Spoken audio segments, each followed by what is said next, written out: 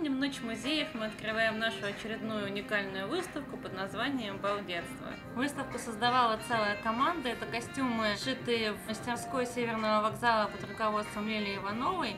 Фотографии Лионес, которые мы сделали в рамках фотопроекта «История кукол». И коллекция антикварных игрушек Татьяны Донской. Также здесь представлена фотография Татьяны Ефремовой фестиваля реконструкции 15-16 веков.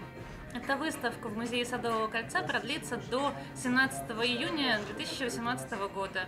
Мы будем рады провести вам индивидуальные экскурсии.